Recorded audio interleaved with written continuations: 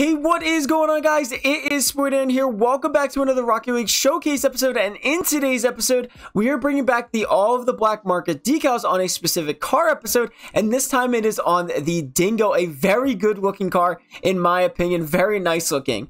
As always, all of the Black Market decals are unpainted. And then the color is a primary as a dark blue, and then the accent as white. And like I said, all of the Black Market decals in this video are unpainted.